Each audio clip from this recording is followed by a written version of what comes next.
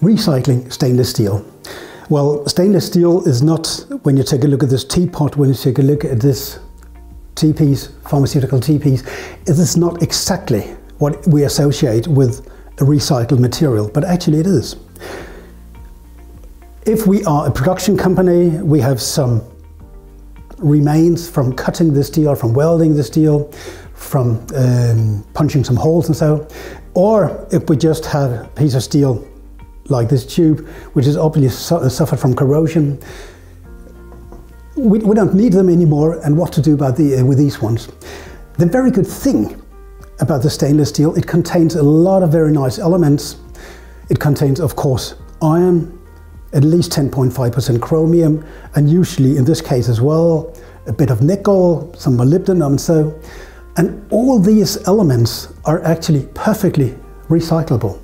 So what happens to these pieces when we don't need them anymore is actually we put them on a truck and then we drive it to the steel mill where they melt it together, add some, adjust the uh, alloy composition with some additional elements, and then we're actually able to make fresh steel.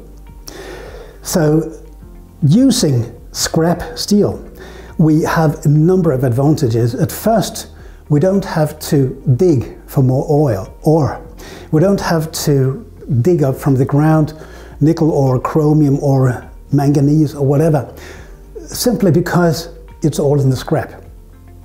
The second very good advantage is that ore, we have to reduce it. We have to go from, for instance, ferrous or ferric uh, salts to the fresh steel is usually done by carbon. Um, we don't have to do that anymore. It saves a lot of carbon, dioxide, uh, which we usually get out of this process, and it saves certainly a lot of energy. Then um, we don't have to refine the steel. All the ore comes with a lot of impurities, come with a lot of, it could be sulfur, it could be phosphorus, it could be carbon. And these are elements we don't really want it in the stainless steel. So why not use a piece of scrap, a lot of scrap, um, where we have already refined the steel. So in many, many ways, it's, it's, uh, it's a very good advantage. When you have a bunch of scrap and you need need to sell it to because it's actually got a value. You need to sell it to the mill, then the or to the scrap dealer.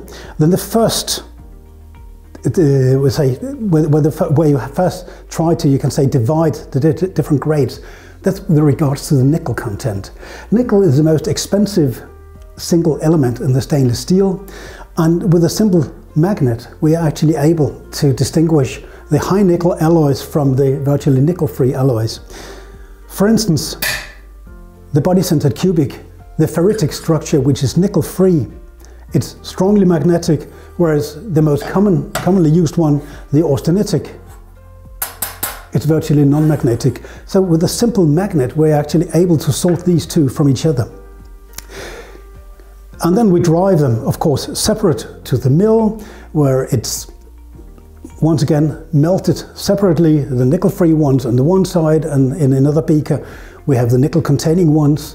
And regardless which, of course, the composition we get by using the scrap never fits entirely with what we want to make. If it's like the acid-proof one, like this T-piece here.